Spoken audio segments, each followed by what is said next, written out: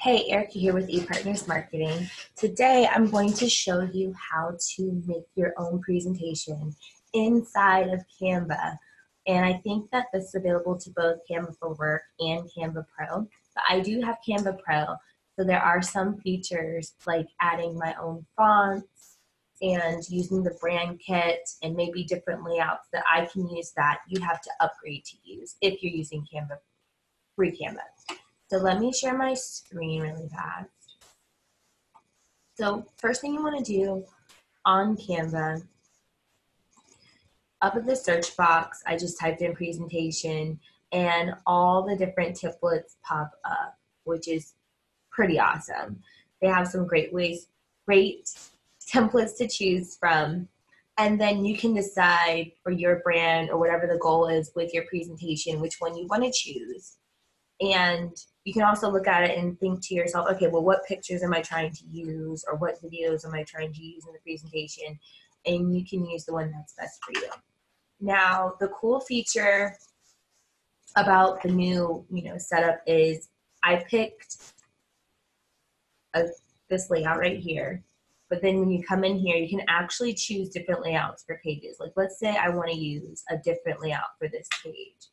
When you go up on the left side to templates, you can actually change the pages. So you can mix and match pages. That's pretty cool. I think it's cool.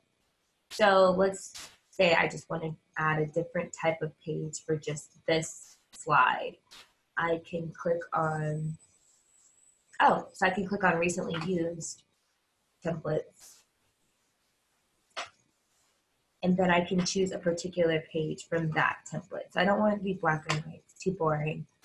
But um, I'll X that off and I'll just choose from a completely different template. So creative presentation, I'll choose that.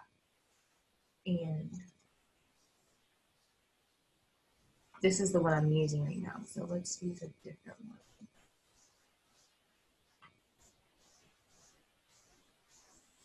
And so instead of these double pictures, let's say I just need one picture, but I want it to be, you know, kind of artistic like that.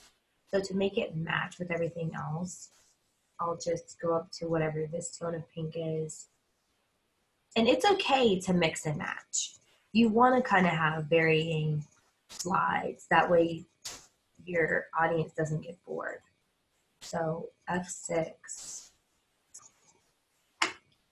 whatever, whatever. So you just copy and paste that color code, come up here. I mean, you can select it there too, but see it changes it. And then I'm using, I'm changing all this red to black so that the viewers can actually see it. So then you just want to go in and change all that. I wish there was a quick way to do this. but there isn't at the moment that I love. And make it black.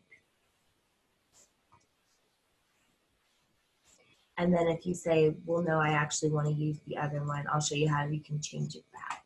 Just a second.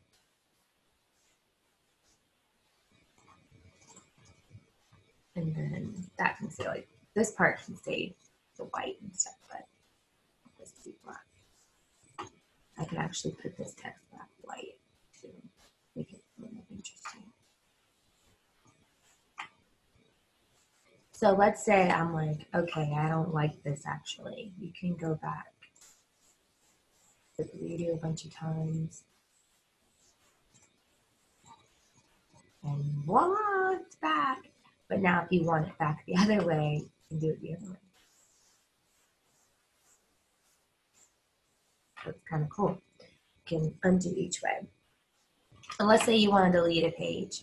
How you would delete a page is you select that particular page. Make sure on that particular page and then you can delete. And then if you want to undo that, just up to this arrow right here, undo. And then if you want to see how the presentation looks all together, on the bottom right, where you see the four little boxes, click that. And you can see all the different pages in your presentation together. I think this is cool because it reminds me of um, PowerPoint and just like you saw, it kind of dragged it. You can drag and drop them I think. Uh-oh. Malfunctioning right now. But I'll show you a different way you can rearrange them too. If you're running into an issue just like I am where it's not letting you drag and drop, you can X out and then you see the arrows, you can rearrange just like that. And I don't think the presentations have a limit. I think the PDFs have a limit of 20,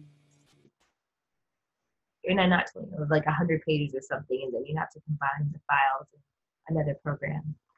But um, yeah, so that's basically how you, you know, make a presentation, delete slides, how to add a slide, um, or so you can actually copy slides if you wanted to. You can copy this and use it somewhere else. Just click this button right here, copy page, delete that. You can also, so to change the font, you just want to click on the font, highlight it, go up to the font options. So I've actually uploaded fonts and I want to change them to my brand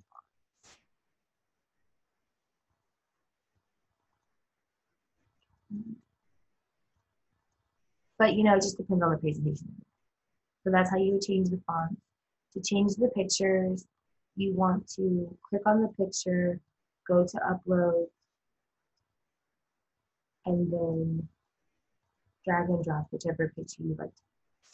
So I'm giving a presentation about IGTV. So just for this example. So the thing is with these templates, sometimes they don't have the frame. So you want to go to element, grid,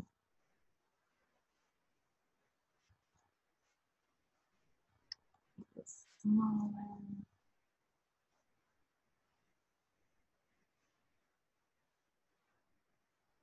And it's not going to be a perfect matchup. Um, I don't know why with the layout, with the layout sometimes it just is not a perfect matchup. But anyway, down here, have a picture. Then you're going to say position backward. And then you're going to delete the picture on top. And then now this is what's going to happen. If you have this box selected, go to upload, then you can drag and drop. Like that. So that's how you change pictures. Um, to add links if you wanted to, you would click in here and then where you see this button says link, that's how you would do that. Um, but yeah, that's how you make a presentation. You can with the text as much as you want until heart's content, and then that's it. That's how you make a presentation. Thanks for watching. Let me know if you have any comments below. Um, and if you enjoyed this, like and subscribe.